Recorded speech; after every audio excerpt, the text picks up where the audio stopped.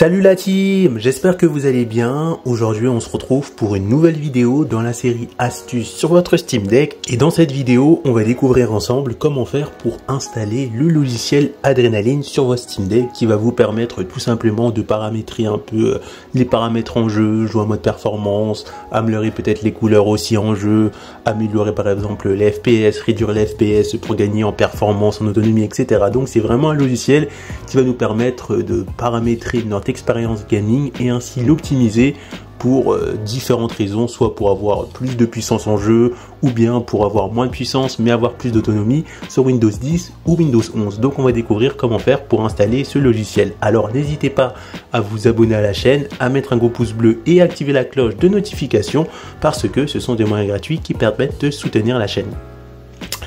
Donc premièrement, vous allez cliquer sur le lien correspondant en bas de la description de la vidéo pour installer le logiciel Adrenaline.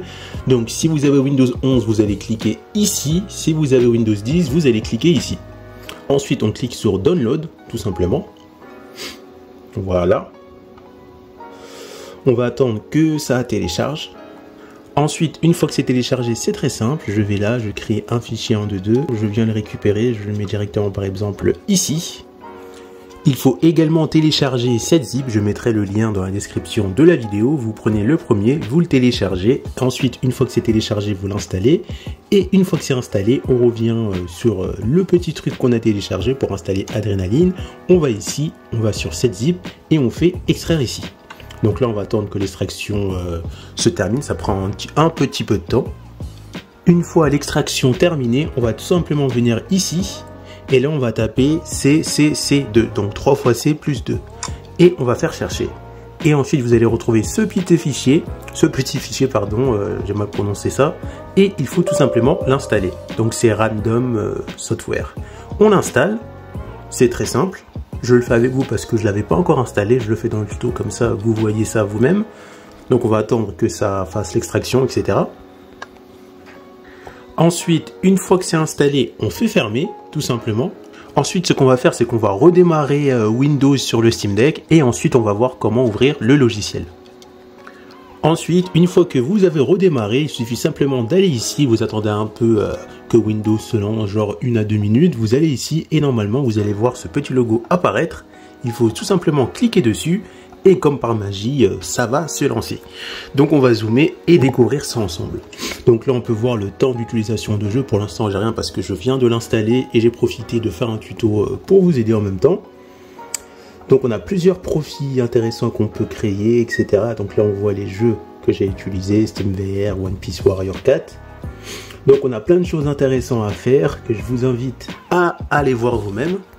Notamment, je peux aller par exemple ici dans les paramètres, aller euh, par exemple dans graphisme, et là faire des petites modifs, que ce soit ici par exemple le standard, mode efficacité, mode jeu, mode personnalisé, dans l'affichage. Donc on peut faire vraiment plein de choses pour paramétrer euh, son expérience gaming sur euh, Windows 10 avec le Steam Deck que je vous invite à aller découvrir. Ça peut être réduire les FPS, etc. Mais vous avez plein de choses, plein de paramètres à faire pour optimiser votre expérience sur Windows, que ce soit installé euh, sur une carte micro SD ou bien sur le SSD du Steam Deck. On arrive à la fin de cette vidéo. J'espère que cette vidéo t'a plu. Si ça t'a plu, pardon, n'hésite pas à t'abonner à la chaîne, à mettre un gros pouce bleu. Et bien sûr, on se retrouve pour une prochaine vidéo. A plus la team Pour retrouver d'autres astuces sur votre Steam Deck, cliquez sur l'épingle du numérique. Après vous êtes abonné, bien sûr. Rendez-vous dans l'onglet Playlist. Et là, vous allez juste cliquer sur toutes les playlists et chercher la playlist Astuces Steam Deck. Donc pour l'instant, on retrouve que 6 vidéos astuces. Mais bien sûr, je remettrai cette playlist à jour avec de nouvelles astuces dans la mesure du possible. A plus la team